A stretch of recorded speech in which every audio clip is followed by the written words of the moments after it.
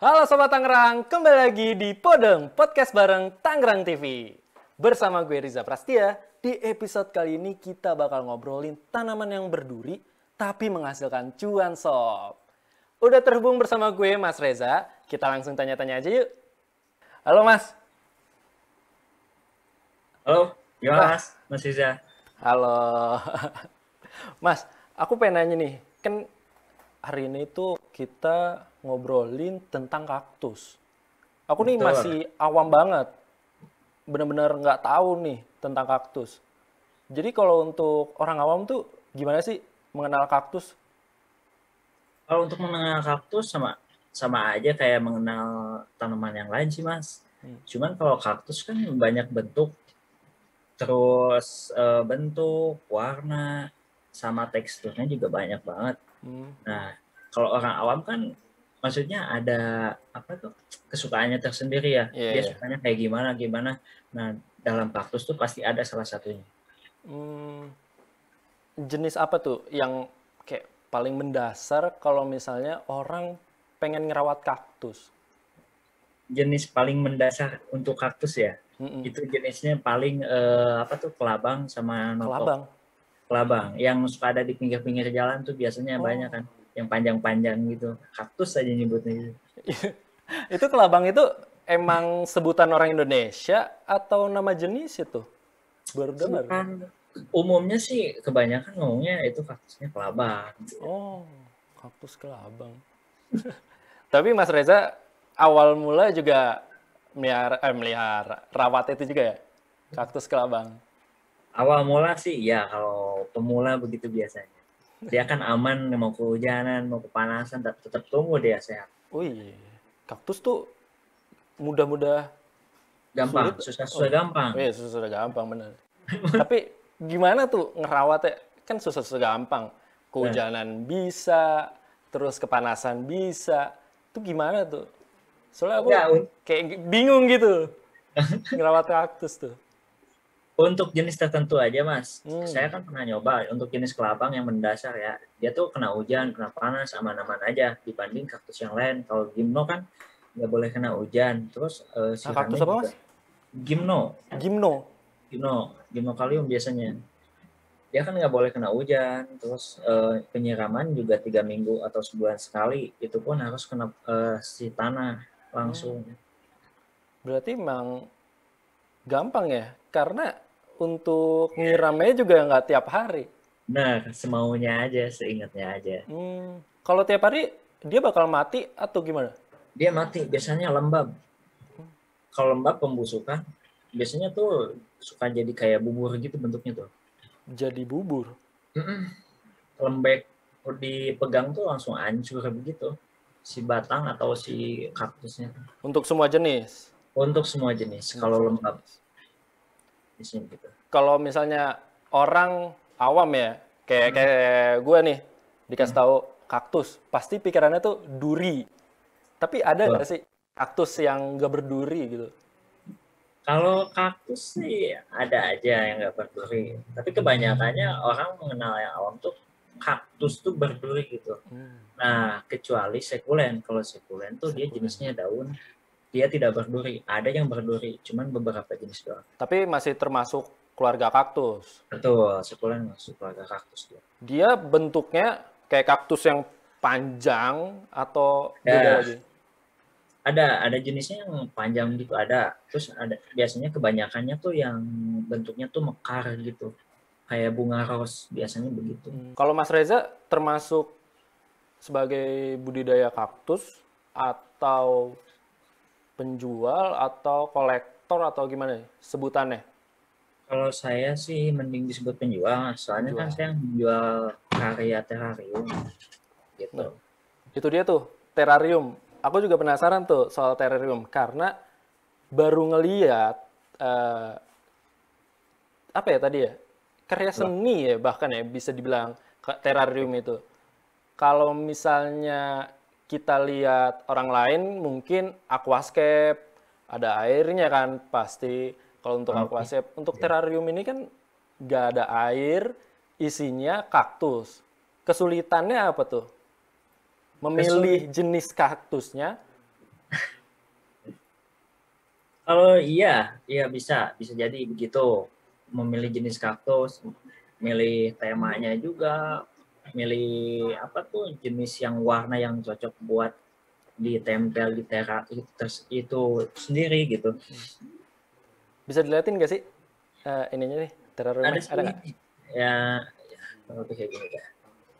Hmm, keren ya. Itu kacanya tuh bikin sendiri? Apa emang udah ada yang jual? Udah ada online jual online biasanya ada. Cuman kita kan request request pengennya kayak gimana nanti dibikinin dia biasanya gitu.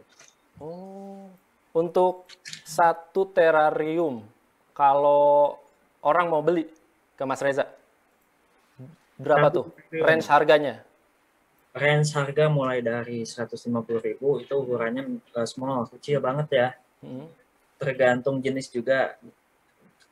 Tergantung isi, hmm. terus tergantung tema. Tema Paling- kita bisa milih sebagai pembeli ya? Bisa bisa. Bisa. Temanya mau negara mana, terus eh, konsepnya apa, Hmm. eh tropis, gurun atau kayak gimana kita bisa. Itu startnya paling mahal.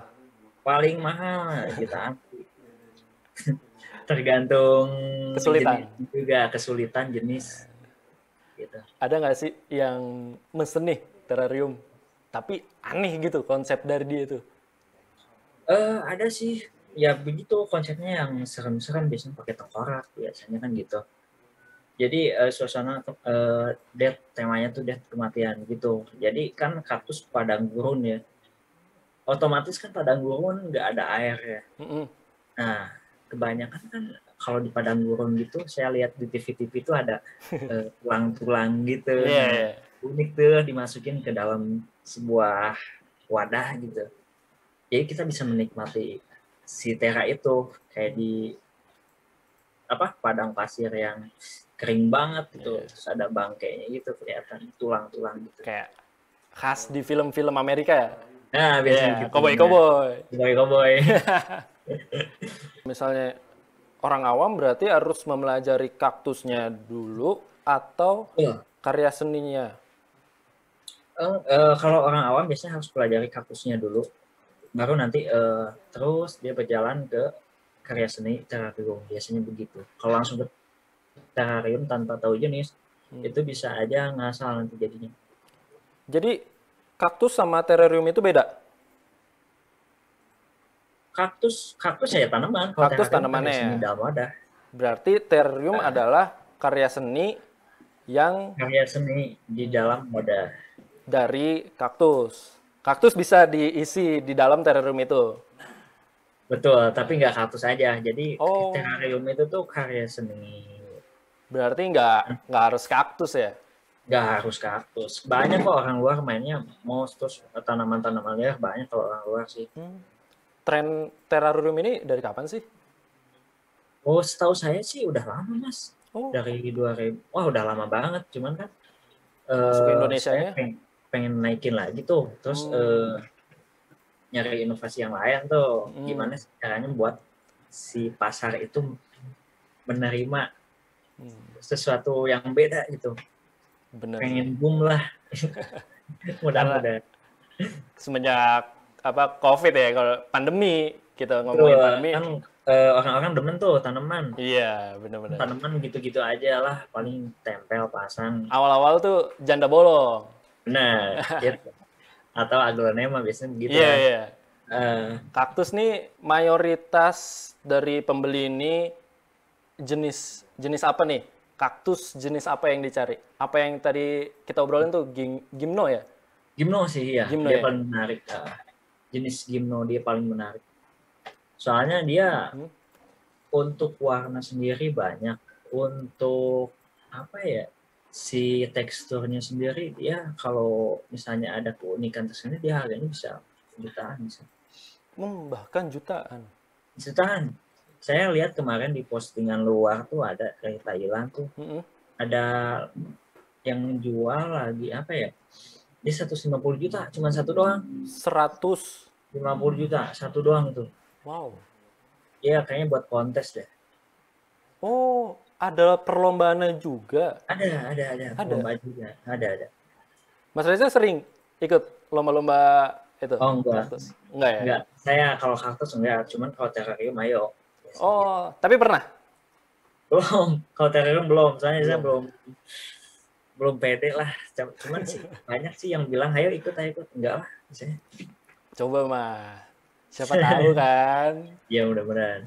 Ini kalau hoki rezeki kan kita nggak ada yang tahu. Iya benar benar. Selama 2017 sampai sekarang 2021 Hmm. pergerakannya gimana nih? Kalau pergerakan sih bagus, alhamdulillah.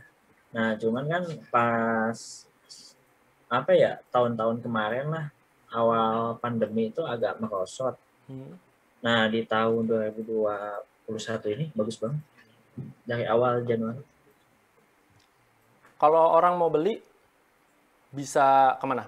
Online di ada. online store atau di IG? Di online store ada, di IG ada.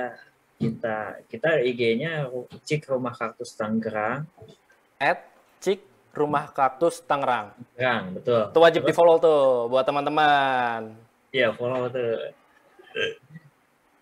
Terus eh, di ya. Shopee juga ada, sama juga namanya Cik Rumah Kaktus Tangerang. Di Shopee juga ada sih. Hmm. Itu mau beli jenis apa pun ada di situ. Untuk range harga juga bisa dilihat ya. Kalau range harga eh, kita langsung di DM aja. Oh, di. DM. Nggak bisa memastikan itu harganya berapa berapa, tergantung kualitas. Mulai dari harga paling murah Sepuluh ribu, sepuluh ribu. Tuh. Itu untuk kaktus. Ah, eh, sekulen, sekulen. Kaktus mulai dari harga dua puluh lima ribu. Sekulen mulai dari sepuluh ribu. Kaktus 25. Betul. Terrarium Terrarium mulai dari 150. 150. Oke, Mas Reza, makasih banget nih untuk waktunya. Buat teman-teman Sobat Tangerang juga jangan lupa follow di Cik Rumah Kaktus di IG ya. Bener nggak, Mas? Rumah kaktus Tangerang. Oh, Rumah Kaktus Tangerang. Tuh kalian wajib follow, kalian juga bisa order langsung di sana mulai dari harga 10.000 dan untuk terrarium 150.000. Kalian bisa milih konsepnya, temanya, semuanya sesuka kalian. Oke, makasih banyak Mas Reza atas waktunya ya. Sama Mas. Oke, dadah. Ya, bye. Gimana sob? Udah nambahkan wawasan kalian tentang kaktus dan terrarium? Kalian bisa langsung kepoin di Instagramnya @rumahkaktus underscore Tangerang. Jangan lupa saksikan terus Podeng Podcast Bareng Tangerang TV setiap hari Kamis jam setengah 8 malam hanya di Youtube Kota Tangerang. Gue Riza Prastia pamit, tetap patuhi protokol kesehatan. Bye!